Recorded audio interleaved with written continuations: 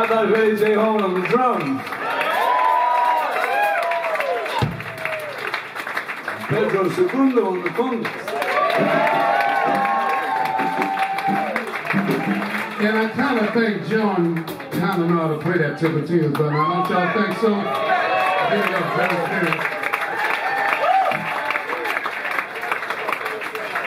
So I'm just curious, do we have anybody in the audience this evening from New Orleans? Yes! All right. All right, you know. A few, like four, five. I always ask this because we're going to do a song called Zulu Coconuts, and most people don't even know what Zulu Coconuts are. But I'm kind of guessing this is a hip audience. Now, you've all been to Mardi Gras New Orleans. You all know what Zulu Coconuts are.